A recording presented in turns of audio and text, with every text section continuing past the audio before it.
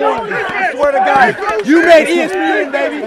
Now, the key here is that this guy somehow knows, yeah. he's some sort of magician, that this is going to all work out. I'm telling you. I'm telling you. God told me that, and I'm telling you.